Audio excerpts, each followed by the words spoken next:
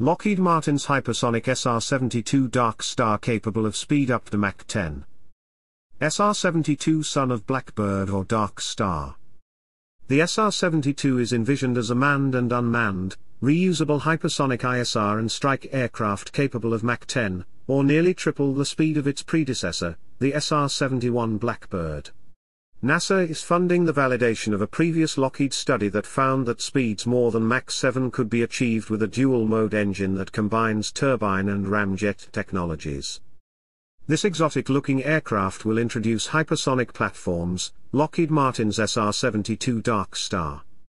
Most aviation aficionados are quite familiar with the SR-71 Blackbird, Lockheed's Cold War-era spy plane that set speed and altitude records for decades, streaking across the skies at 80,000 feet at Mach 3+, showcasing its insane capabilities with rare exotic alloys and futuristic design.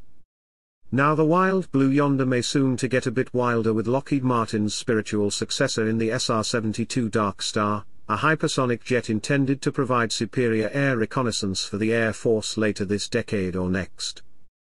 Top Gun sequel starring Tom Cruise, Top Gun, Maverick, features a peek at what might be the SR-72 in the latest video by Lockheed Martin.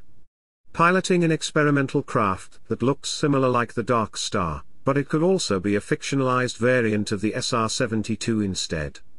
Remember, this is Hollywood.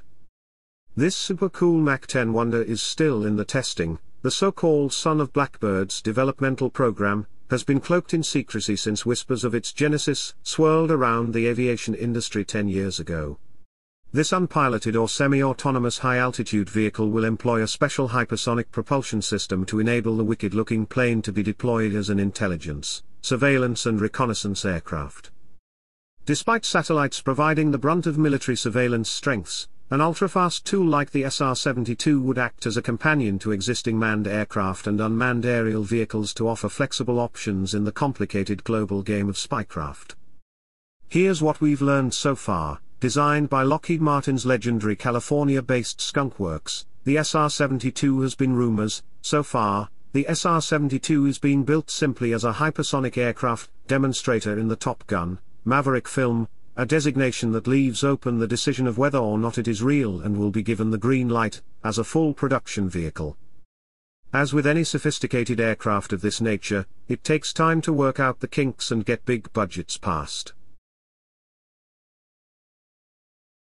Thank you for watching please like, share, comment, and subscribe.